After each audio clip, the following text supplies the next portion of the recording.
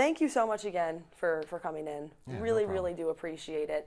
Um, and again, I think just to kind of start, I really just want this to be a forum for you to be able to explain what led you to this decision to to resign and what brought us here today. Um, obviously, um, the decision to resign was an easy one. It's something that you know it it happened, um, but I think you know last couple of years, the district and I have been, I should say, different different systems of values or different lines of thinking. Um, I've fought a lot of battles for my for my players, for the children that I coach and work with, and for my coaching, my staff as well. And you know, a couple different times we'd win some, we'd lose some, and it just became a struggle. And then when the final straw hit was, you know, when they when they suspended the quarterback, and I thought the punishment that they gave was way too harsh, way too sudden, way too quick, without fully investigating everything. So, you know, I talked with people. I tried to reach out. I, you know, spoke briefly, um, and waited for a call back from the superintendent. After we spoke briefly, he, you know, never never got a call back. Left messages for others, other district administrators. Never got phone calls back, and and so with that, it just kind of made me think. You know what? I could keep going. I could just, you know, accept it as is, put my head in the sand, and and just trudge forward, or I could finally say, you know what? It's time to make a stand and and do something, and that's what I decided to do. When did you make that decision?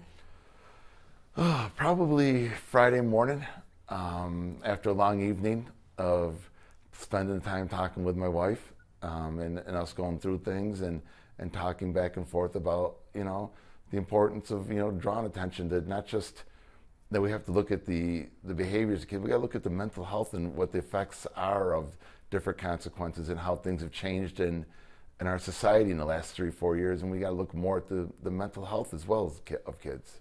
When you were discussing this with your wife, you know, all, all night, I'm sure. Yeah. What did she say, and what was part of that conversation?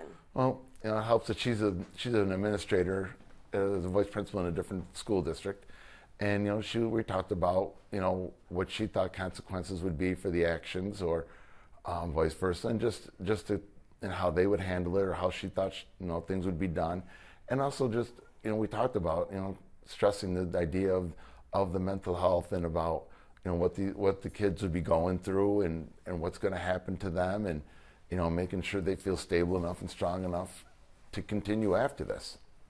Was a big deal. You think about it. It is. Now, this is just background so that I have this. When did you alert the district that you were resigning? I told my athletic director mm, Friday morning, and then I sent out a email to the superintendent, to my athletic director, and the board of ed probably around 12:30 in the afternoon. When you, before you made this decision, when you were trying to get in contact with administrators and all the people that you previously mentioned, what was the response, if any? Um, it was, you know, the, they have the rules are in place. This is what the the code of conduct or the, the handbook says needs to be done. So that's what we're going to do. And again, I know every school obviously has a code of conduct, so there's certain things they wanted to follow. I know we can't necessarily talk about the specifics of what it was that actually happened that led to this suspension, but in your eyes, why was this punishment too harsh? Um, I just think. I'm sorry. I'm just thinking a little bit. I, I just, I think this is more of a matter that needs to be. I think it should have. I'm not. It should have been dealt with in terms of more of a thorough investigation of families being involved with discussions and things along things along those lines prior. How do you know that the thorough investigation that you would have thought that this suspension warranted didn't take place? because I believe it happened over within a half hour, 45 minute period from when things took place. I mean, I could be wrong, and don't judge me exactly on those times, but it was pretty quick. You mean quick in between the time it happened and the time the suspension Yes, occurred? correct. Okay. Just because I do think this is pertinent information as far as the, um, I guess, what, what had occurred, but also what they were able to look into during that time. Do you happen to know if whatever did occur, someone had a firsthand account of, or someone actually saw or witnessed with their own eyes, or was it just something that was heard? Do you know what I'm saying? I'm not really sure. Those, I, you know, all the details and everything's limited on what you can discuss educational law wise. So I got to kind of stay away from that one. Understood. When you tell your team, you alert your team Mm-hmm. that this is the decision that you are going to make, what do they say? Um, they kind of looked at me in shock. There was silence at first when I went into the locker room and spoke with them. Um, you know, but through our discussions, you know, they understood. They knew what had happened um, in terms of the quarterback being suspended. And, you know, we went through as much as 13, 14, 15 year olds, 16 year olds can understand it. You know, we talked about it. We talked about why it was going on. Um, there was several kids in that locker room, along with my coaches who had been in that locker room, who I had done, had to fight for in the past, you know, and, our, and, and, and stood up for. And so they understood that point. They understood that, you know, that this was something that I had to do, and they were supportive. I've received many texts from many of the players supporting that decision. You say that you've had to fight for several of your players in the past for other situations Mm-hmm. or instances. By that, do you mean suspensions or you mean matters of disciplinary action? Just, just go to battle. The difference of opinions between myself and the district, and and what had to be, what I thought needed to be done. In making this decision to leave before the game, were you worried at all, or was a part of the decision making process the idea that you would be letting down the other kids who still had to play in the game? Um, that came that that played heavily into it, um, and again, the support from them was unbelievable. But I also have a very good coaching staff under me that I knew that they could continue on, and they would continue on. I mean, I'm the head coach, but I also have an offense coordinator, a defense coordinator, and guys that have been around for numerous years that could carry on, and and I knew that. I mean, when I we're at practice, we're in the games. I mean, I over you know I make decisions and stuff like that, but in terms of the X's and O's, that's done by other people on staff. I, I want to know what message you felt like you sent by resigning in support of him. Well, the message is not so much in, in everything is is we have to look at things differently nowadays. We have to look at kids differently. We can't just look at a manual or, or a code of conduct and make decisions off of that. We have to look, speak with kids. We have to see what's going on, what's happening. Um, you know, you look all around us. You look through so- social media. You look at, you know, TV. You watch what these kids are watching on TV now. Social media, like I said, in the world around us, and everything these kids are coming off of. That we need to look more and to talk to the individual, and that's necessarily doesn't have to be an automatic. This is it, a cut and dry, no matter what. Let's look into this and, and what's going on. Why? Out of curiosity, were you planning to leave the CNS program after this year anyway, or after next year anyway? Um, there was actually a, I probably six, seven months ago, I started discussing it with my athletic director that it was about time. I mean, this is a group of seniors that I wanted to see finish off that I've been coaching for numerous years. So, I mean, I'm going to say we were probably at a 95% chance that I was going to retire at the end of the season anyhow this year. So, you know, unfortunately, this is not the way I wanted things to end. But I needed to, again, I think I needed to stand up and, and do what I think, according to my values, Was right. was right. Understood. Um, You know, As- oh, I'm. I'm sorry, but in terms of that, I also feel, you know, I'm not trying to say that there shouldn't be consequences for actions.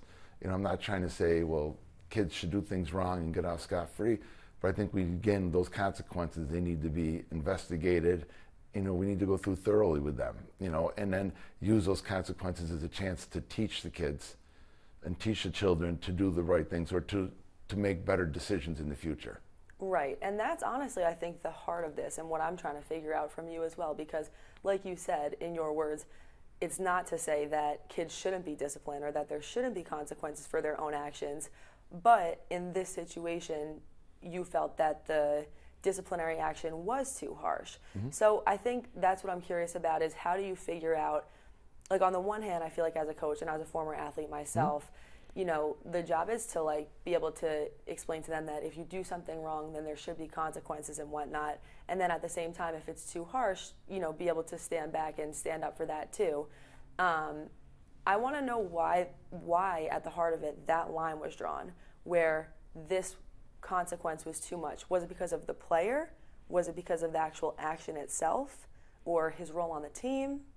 What was it? I think I think it's just a cum- cumulative, cum- cumulative, cumulative uh, effect of, of, of time, of you know different things that have happened, and um, and then when this came about, I think it was just just the way everything happened, in my opinion, so suddenly, so quickly, um, in terms of the consequences, that I just didn't think it was the right decision to make, and that, that's why I had to decide that this is the time to draw that line.